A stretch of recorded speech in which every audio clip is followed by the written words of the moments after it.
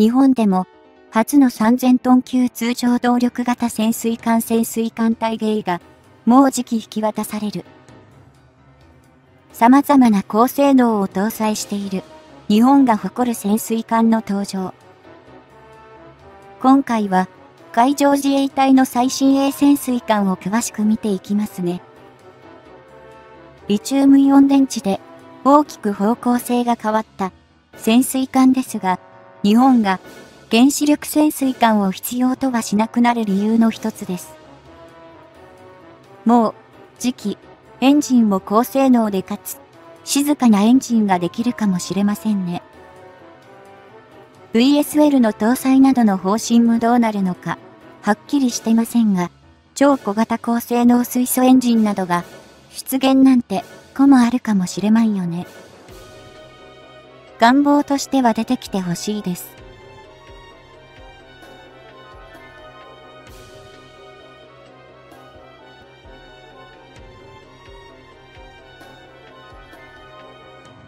今年2022年3月には、海上自衛隊の最新鋭潜水艦として、大芸型の一番艦で、ネームシップの大芸が収益を果たす予定であり、現在は、これに向けた最終の偽装工事や準備が行われている状態だとめされている。大芸は、一昨年の2020年10月に浸水し、そのタイミングで、同時に命名も行われ、こそで初めて、環球名が明らかになったわけだが、すでに、2番艦の枠芸も、2021年10月には浸水。こちらも、来年2023年の収益を目指し偽装中である。大芸型潜水艦は、前級である。そう、竜型の基本構成を踏襲しており、デザイン面や X 化自動の要素も、その延長線上にあり、それらをより洗練して、キープコンセプトの概念を元にして仕上げられた艦艇だと言ってよいだろう。最新鋭の潜水艦につき、体芸型は公表されていない数値上のスペックも多いが、水上排水量3000トン、水中排水量4250トン以上、全長84メートル、全幅9.1メートル、喫水10.4メートルほどであろうと考えられている。これは、そう、竜型の11番艦、猛竜、12番艦、東竜と、比較して全長、全幅は同様であり、排水量が50トンほど増加されており、これに伴い、喫水が1.3メートルほど深くなっているサイズ感である。また、そう、竜型は、1番艦、総流から10番艦、小流までは、さらに、排水量が11番艦、王流、12番艦、東流と比べて50トンほど少なく、途中でマイナーチェンジを行ったと言えるだろう。そのタイミングで、推進方式も、ディーゼル機関と鉛製蓄電池と、モーター、スターリング機関搭載という AIP 非待機依存推進方式から、ディーゼル機関とリチウムイオン製蓄電池と、モーターという構成に改められた。この機関部の構成を体芸型も引き継いでおり、今後、しばらくは、これが、海上自衛隊の潜水艦の標準的な推進方式として用いられていくのだろうと、2022年1月の現段階では、おおむね考えられている状況だ。通常動力型の潜水艦が兵器として登場した時点で、その機関部は、ディーゼル機関と鉛製蓄電池とモーターという構成であり、この基本構成は、およそ1世紀ほども続いたが、リチウムイオン蓄電池の搭載で、これは覆された。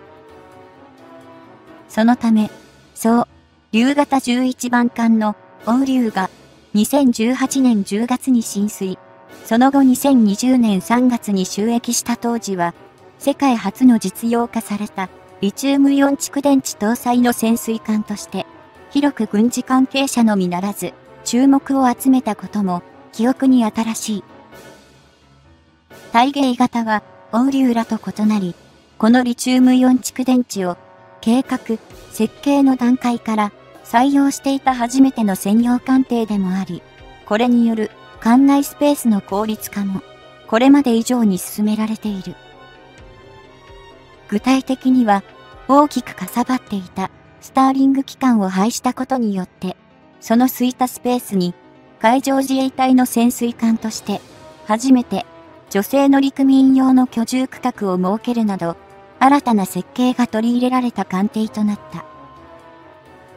リチウムイオン蓄電池は鉛製の蓄電池に比べて同容積でも2倍以上のパワーを発揮し反復密る放電回数もその約5割増しで急速充電が可能。さらに大電流、電圧の持続性が高く、艦艇の連続航行時間を大幅に増加させたという。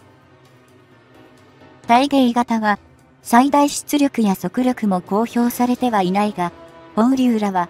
前者が水中で5600馬力、後者が同様に水中で18ノットとされていることから、おそらくこれに近い数値であるとみて間違いはないだろう。実は、これは、昇流までの水中での最大出力8000馬力、同速度20ノットと比べると、見かけ上のカタログスペックは低下しているのだが、リチウムイオン蓄電池の特性である持続力が優先されたという傍証でもある。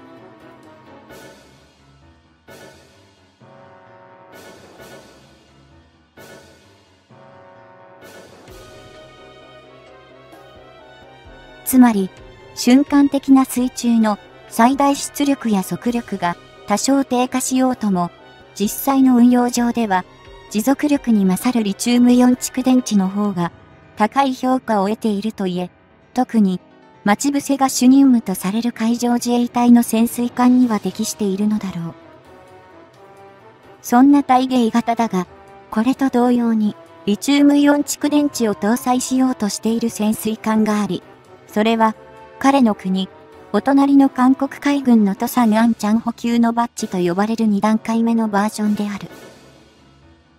トサンアンチャン補給は、一番艦のトサンアンチャン補が、昨年2021年の8月に収益、2020年11月に2番艦、2021年9月に3番艦が浸水しており、これらは初期型のバッジ1と呼ばれているタイプだ。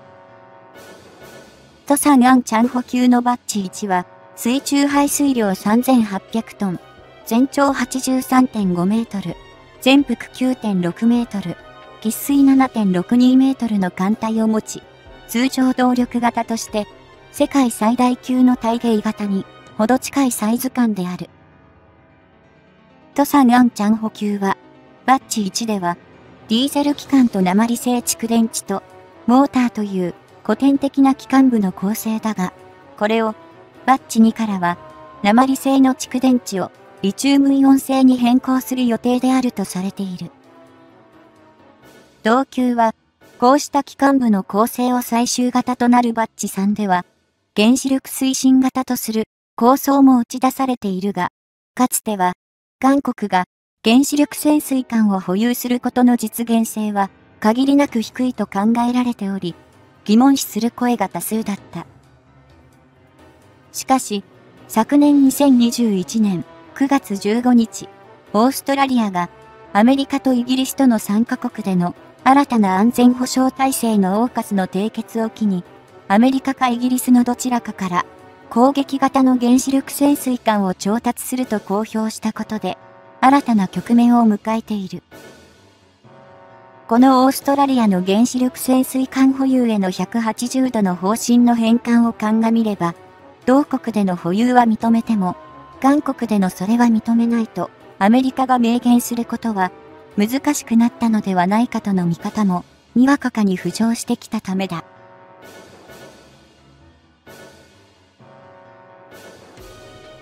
特に、韓国が最大の脅威だと、自他、共に認める北朝鮮が、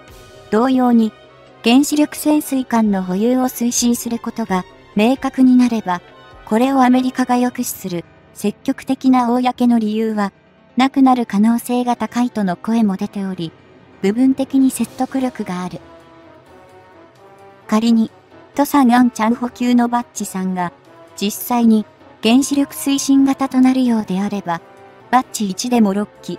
バッチ2以降は、10機の搭載が見込まれる VLS、垂直発射管の並走からは、戦略型の潜水艦に近い運用も可能になるだろう。こうした状況を受けてか、日本でも、以後の潜水艦に、VLS、垂直発射管の搭載を検討する動きや、原子力潜水艦の保有を推進する一部与党政治家の発言もあり、これまでとは大きく異なる展開を迎えるのかもしれない。ただし、日本の場合は、一足飛びに原子力潜水艦の保有が是か非かという以前に、従来からの攻撃型潜水艦の作戦行動範囲を拡張するために、それを選択するのか、対地攻撃能力の付与を目指して、